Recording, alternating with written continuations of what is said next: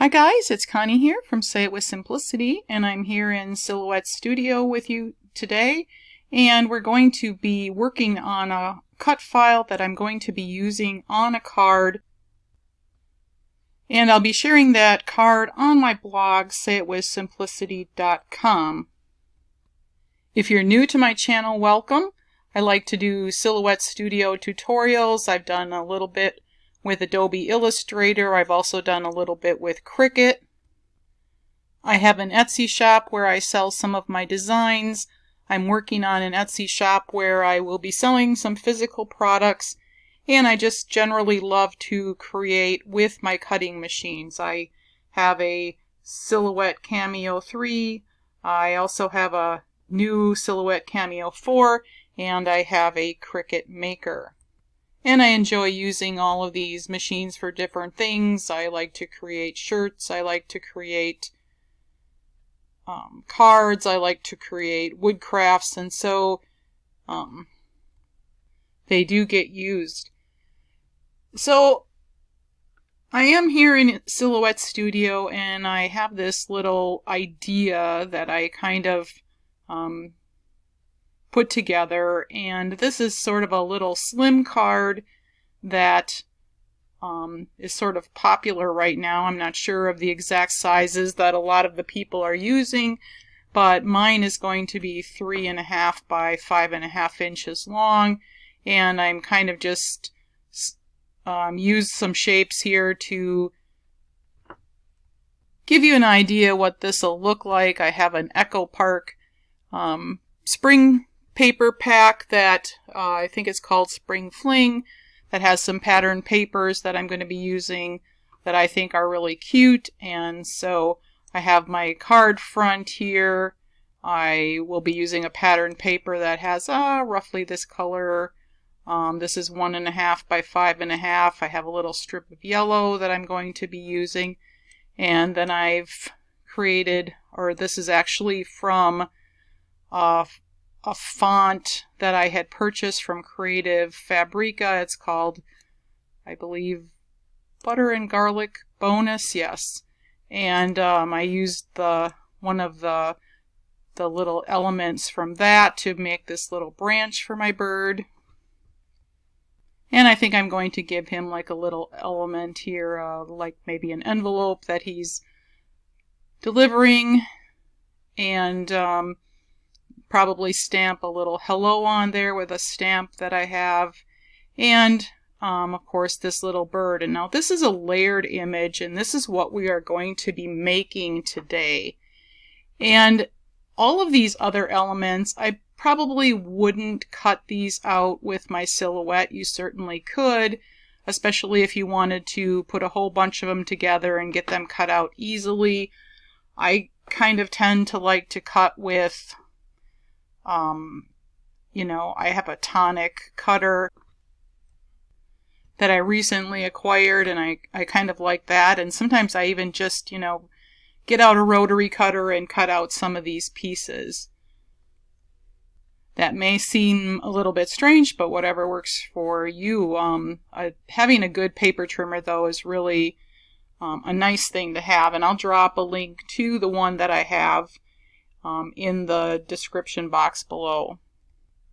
So if you've been with me for a while, you know that I like to create little images and so we're going to get started here with our little bird and I hope that this is helpful to you.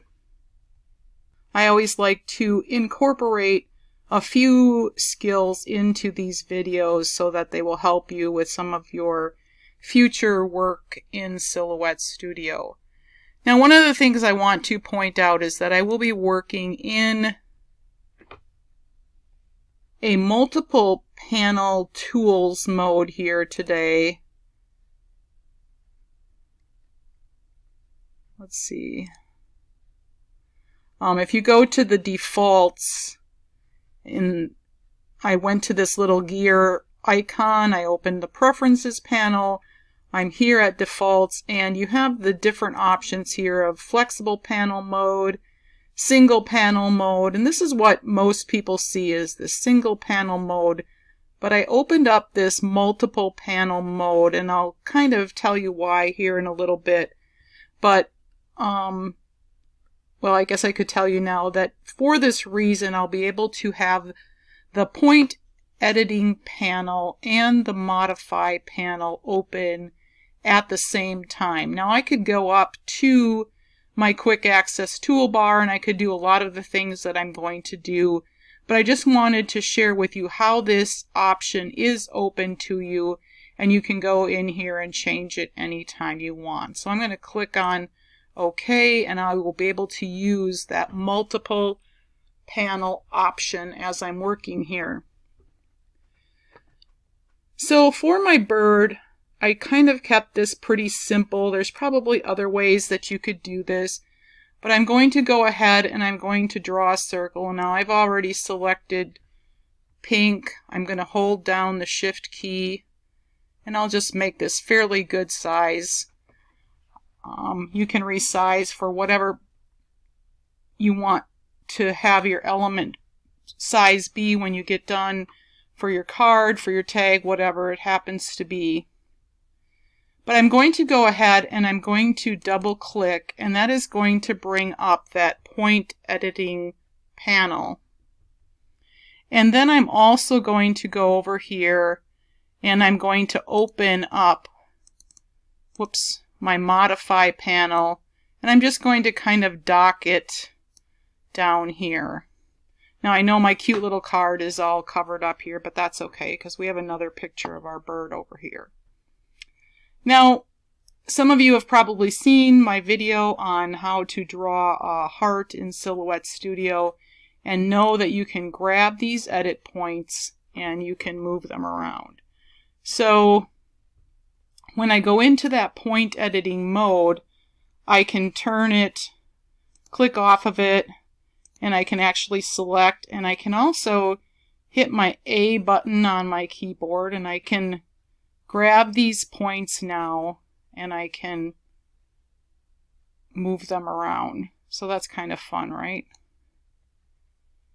So now I brought this down to sort of a flat, almost a little bit indented right here. And now I'm going to click on this right one. This is his tail over here. I want his tail to be a little bit more pointed, so I'm going to come down grab this handle and just bring one of these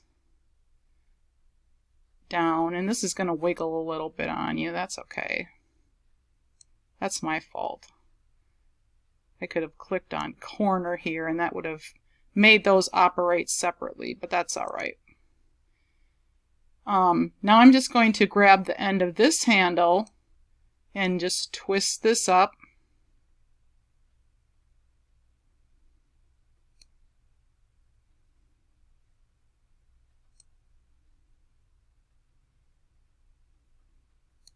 Now you can make your bird look any way you want.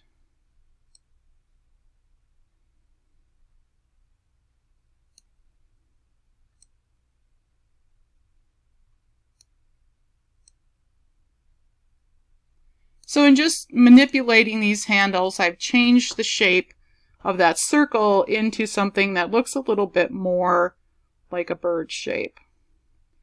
Now I'm going to go here to the line tools and you have this one that's um, draw a curve shape.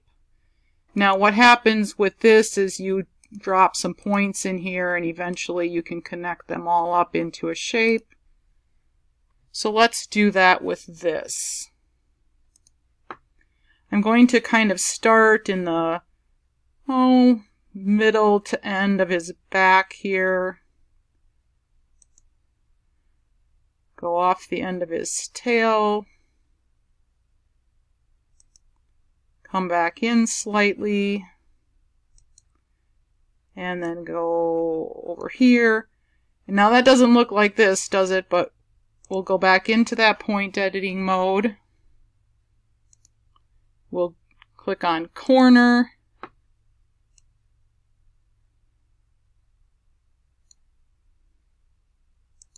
We'll grab this one now.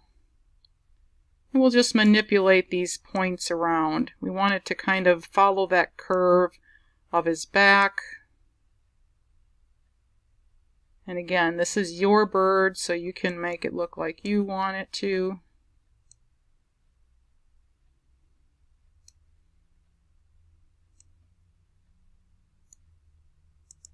And now I'm going to select all of this. And here's my modify panel right next to me. I can click weld. And now our bird has a tail. Let's go ahead and make the beak. You could use the polygon tool for this, make a triangle, but let's just go ahead and grab that, um, make a curve, uh, let's make a polygon with this drawing tool. And that one works like this, where you can just drop in points. And we're just going to make a little triangle beak.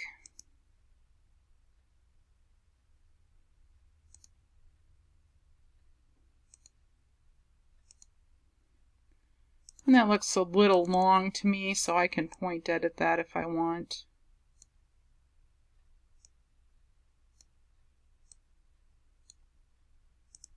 Again, I can select all of that and weld. And there I have my basic bird shape. And that didn't take too long. But I would like my bird to have a wing, so I'm going to, let's see, let's grab an ellipse again.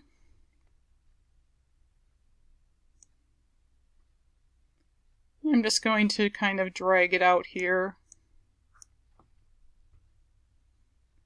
And we're going to go into that point editing mode. And I'm going to delete this point and this point. I'm going to hold down the shift key and click delete point. I'm going to select this point and I'm going to drag these handles up until I get a nice kind of rounded look at the end of this, sort of a teardrop on its side shape. And then I'm going to select this point. I'm going to click corner, which makes these handles move separately. And I'm just going to curve this one in a little bit.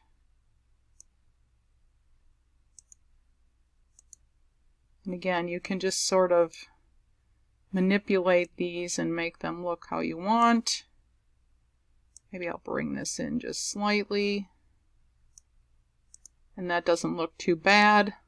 Let's just kind of show that off with a different color. And now I can bring that down and fit it onto my bird.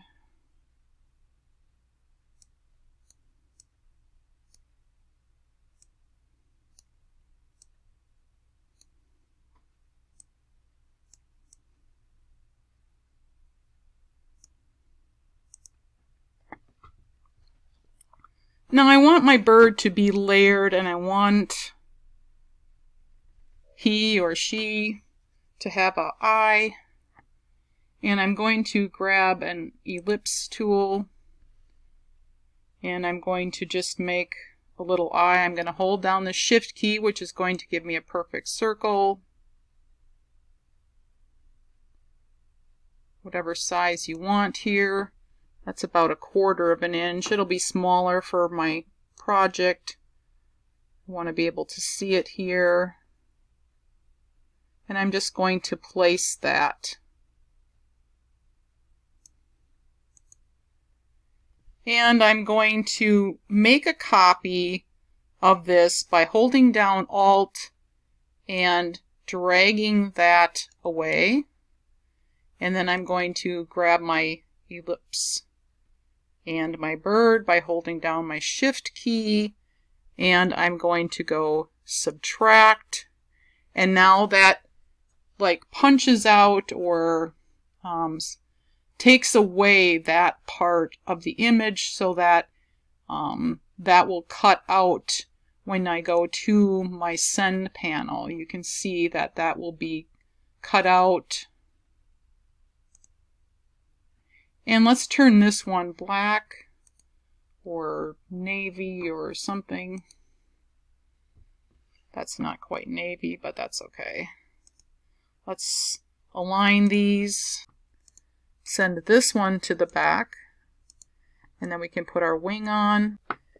And there's our cut file all ready for resizing and cutting out and using on any project that we have in mind for it. It's one of those things that if you continue to practice using some of these techniques in Silhouette Studio, pretty soon you'll be creating new files on your own and finding more and more ways to use some of these tools in Silhouette Studio. I always appreciate the comments that you guys leave behind. It always helps me to know what sort of things that you would like to learn and what sort of things to offer in future videos. It's been a pleasure to share this video with you today. I hope that you will stop by my channel again. If you like what you see here, I invite you to subscribe and click that bell notification so that you get a notification of new videos when they come out. I also invite you to check out my blog sayitwithsimplicity.com where I share some of my craft projects. And again, thanks for watching and we'll see you next time. Bye now.